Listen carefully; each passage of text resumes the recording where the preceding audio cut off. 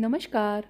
Welcome to creativity with Sushma आज हम बनाने जा रहे हैं अरबी के पत्तों की सब्ज़ी। ये बहुत टेस्टी बनती है, आप भी बनाएँगे तो आपको भी बहुत मज़ा आएगा ये खाने में। तो शुरू करते हैं। तो ये मैंने चने की दाल को छः घंटे के लिए भिगो दिया था। एक कप चने की दाल को भिगोया था और इसको बाद उसको मैंने पीस लिया है। और अब हम इसमें डालेंगे ये अरबी के पत्ते की सब्ज़ी ये ऐसी होती है, इसको हम धो के अच्छे से इसकी डंठल तोड़ के अलग निकाल लेते हैं और बारीक काट कर इसमें मिक्स कर लेंगे, लेकिन हम पहले मिक्स करेंगे कुछ मसाले। तो इसमें हम जिंजर गार्लिक का पेस्ट ऐड कर देंगे एक टीस्पून और कुछ अन्य मसाले जो मैं इसमें ऐड करूँगी वो हैं, हल्दी वन फोर टी स्पून ये थोड़ा सा गरम मसाला हाफ़ टी स्पून मिर्च थोड़ी सी हाफ़ टी स्पून धनिया और नमक हाफ़ टी स्पून ऐड कर दिया है और हाफ़ टी स्पून ज़ीरा। इनको हम अच्छे से मिक्स कर लेंगे। बैटर आपका गीला नहीं होना चाहिए, नहीं तो ये बाइंडिंग अच्छी नहीं आएगी। तो ये सभी मसाले मिक्स करके फिर हम इसमें पत्ते भी मिक्स कर देंगे। तो ये, इसमें मैंने पहले कॉर्नफ्लोर ऐड कर दिया है। इससे भी बाइंडिंग अच्छी हो जाएगी।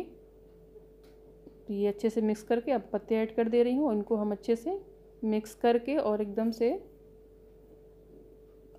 एक डो जैसा बना लेंगे। ये मैंने एकदम इसको मिक्स करके अच्छे से बाइंड कर लिया है। अब हम इसको ऐसे कोफ्ते बना सकते हैं और इसको हम स्टीम कर सकते हैं या फिर हम ऐसे रोल करके बना सकते हैं और फिर हम सारा स्टीम करके फिर बाद में कट करके इसको फ्राई कर सकते हैं। तो ये मैंने ऐसे बना लिया और एक ये कढ़ाई में मैंने स्टैंड रख कर उस पर एक अपनी ये जाली रख दी है और इसमें हम स्टीम करेंगे। अगर आपके पास स्टीमर हो तो आप उसमें यूज़ कर सकते हैं ये प्रोसेस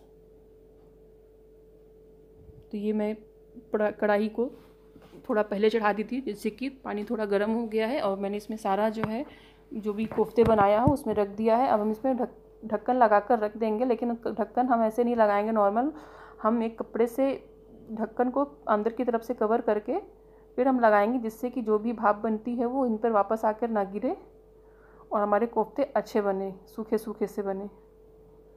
तो ये मैंने स्टीम करने लेके रख दिया है। इसको हम 12-15 मिनट तक स्टीम करेंगे, इससे ज़्यादा नहीं करेंगे। और इसके बाद हम इसको चेक कर लेते हैं। तो 15 मिनट में ही अच्छे से स्टीम हो जाता है, लेकिन फिर भी एक बार चेक ज़रूर कर लें। अगर कम है तो दो तीन मिनट के लिए और स्टीम कर देंगे। तो एक चाकू लेकर हम देख लेते हैं। ये चाकू हमारी क्लीन है तो समझिए कि आपका ये स्टीम अच्छे से हो गया है। अब हम सारा जो भी कोफ्ता है, वो हमने इसको प्लेट में निकाल लिया है। थोड़ा सा ठंडा कर लेते हैं। और फिर हम इसको कट कर लेंगे। ये कोफ्ते भी देखिए कितने बढ़िया अच्छे से स्टीम हो गया है। अब ये हम किसी बोर्ड पर या फिर किसी भी चीज़ पर हम इसको लेकर चाकू से कट करेंगे। तो ये साइजेस आप अपने हिसाब से थोड़ा मोटा पतला रख सकते हैं, लेकिन थोड़ा मोटा रखेंगे तो ये टूटेंगे नहीं।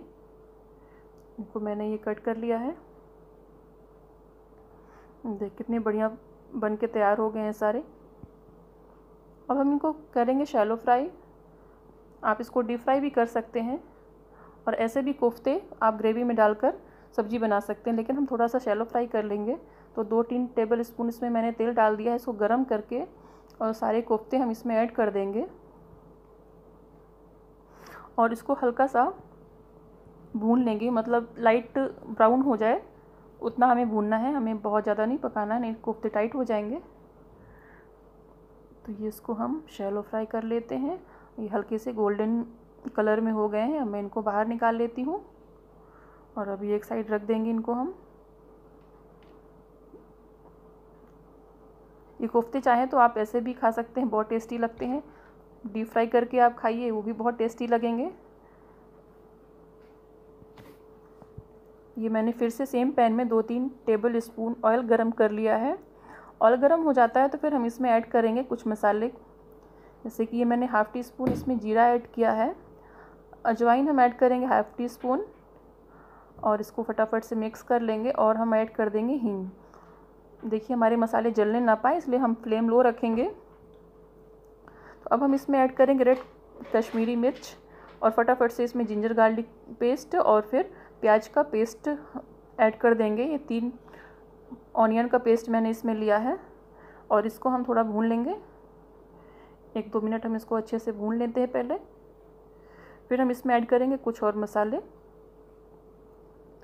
अब इसमें हम ऐड कर रहे हैं हल्दी हल्दी हाफ़ टी स्पून और ये धनिया पाउडर भी हम इसमें ऐड कर रहे हैं और ये जीरा पाउडर फिर से हम इसमें ऐड कर रहे हैं। तो ये सब हम अच्छे से मिक्स कर लेंगे। ये बढ़िया से मिक्स हो गया है। अब हम इसमें ऐड करेंगे ये चने की पिसी हुई जो दाल थी, वो मैंने थोड़ी सी बचा ली थी तो एक टेबल स्पून वो मैंने इसमें ऐड कर लिया है। अब हम इन सबको बहुत अच्छे से भूनेंगे। जब तक कि ऑयल सेपरेट ना हो जाए और खुशबू अच्छे से ना आने लगे, तब तक हम इनको भून लेंगे अच्छे से। तो 11-12 मिनट भूनने के बाद हम चेक कर लेंगे कि ये भुने हैं कि नहीं। उसके बाद फिर हम इसमें ऐड करेंगे ग्रीन चिली ये आप अगर तीखा नहीं चाहिए तो आप ये वाला प्रोसेस स्किप कर सकते हैं। आप हरी मिर्च मत डालिए। मैंने एक हरी मिर्च काट कर डाल दी है स्पाइसी टेस्ट अच्छा लगेगा। ये हम मिक्स कर दिए हैं इसको फिर से। अब हम इसमें ऐड करेंगे टमाटर का पेस्ट ये मैंने तीन टमाटर को कच्चे ही काट कर ऐसे मिक्सी में पीस लिया है। हमें इसको बिल्कुल भी प्योरी नहीं बनानी है, बस ऐसे ही हमें पेस्ट जैसे बना के इसको अच्छे से मिक्स करके इसको फिर से भून लेना है। तो ये मैंने इसमें सब डाल दिया जितना भी टमाटर था और ये मैंने इसको अच्छे से भूनना स्टार्ट कर दिया है। टमाटर हमारे अच्छे से पक जाने चाहिए, बिल्कुल कच्चापन नहीं होना चाहिए। इसमें हम सॉल्ट भी ऐड कर देंगे और किचन किंग मसाला भी समय पर ऐड कर देंगे, जिससे ये भी हमारे टमाटर के साथ अच्छे से भून जाएँगे। अब ये हम बढ़िया से भून लेंगे, जब तक कि ऑयल सेपरेट ना हो जाए तो इसमें भी थोड़ा टाइम लग सकता है, दस बारह मिनट, क्योंकि टमाटर को अच्छे से पकने ज़रूरी वो है। हमने इसमें कुछ धनिया पत्ती कटी हुई मिक्स कर दी है, ये भी हम भून लेंगे। धनिया पत्ती हम पहले से मिक्स करते हैं तो भी इसका फ्लेवर बहुत अच्छा आता है। हमारा मसाला जितना भून अच्छा अच्छे से भुना होगा, उतना ही टेस्ट अच्छा आएगा। जब हमारे अच्छा मसाले अच्छे से भून जाएँगे तो हम इसमें ऐड करेंगे वाटर तो वाटर मैंने यहाँ पर थ्री कप ऐड किया है और थोड़ा थोड़ा करके ऐड किया। सारा एक बार में नहीं ऐड किया है, जिससे कि हमारी जो ग्रेवी है वो हमको समझ में आए, ऐसा ना हो जाए कि एक बार में हम सारा पानी डाल दें और ग्रेवी पतली हो जाए, फिर हमें उसको ज़्यादा पकाना पड़ेगा। तो ये मैं थोड़ा थोड़ा ऐड करके तीन कप पानी ऐड कर रही हूँ और आप चाहें तो अपने हिसाब से कम ज़्यादा कर सकते हैं, ग्रेवी थिक या फिर आपको पतली चाहिए तो। तो ये मैंने फिर से एक बार ऐड कर दिया है तो ओवरऑल मैंने इसमें थ्री कप पानी डाला है।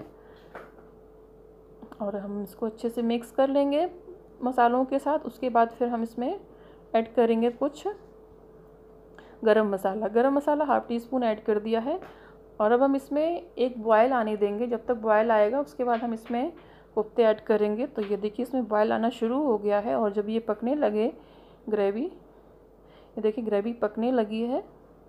अब हम इसमें ऐड कर देंगे कोफ्ते। तो ये कोफ्ते हम इसमें अच्छे से ऐड कर देंगे। बहुत ज़्यादा हम इनको चलाएँगे नहीं थोड़ा थोड़ा बस हिला के इसको हम, ये मैंने सारे कोफ्ते इसमें डाल दिए हैं। और धीरे से इसको मिक्स कर लेते हैं और फिर लेट बंद करके हम इसको पका लेंगे। सात आठ minute low to medium flame पर हम इसे ढककर पकाएँगे। और ये देखिए हमारी सब्ज़ी बढ़िया से बनकर रेडी हो गई है। और अगर आपको ये आज की मेरी रेसिपी पसंद आती है तो प्लीज़ वीडियो पे लाइक और वीडियो को शेयर कीजिए। और हो सके तो मेरा चैनल भी सब्सक्राइब कीजिए, जिससे नए नए वीडियोज़ आपको देखने को मिलते रहें। तो ये देखिए, अभी तक मैंने इसमें धनिया पत्ती ऐड नहीं की है तो मैं अब इसमें ऐड करूँगी धनिया पत्ती। ये मैंने धनिया पत्ती भी ऐड कर दी है और अब ये सब्ज़ी बिल्कुल रेडी है। आप भी बनाएँ सब्ज़ी और बताएँ कि कैसे बनी है। Thank you.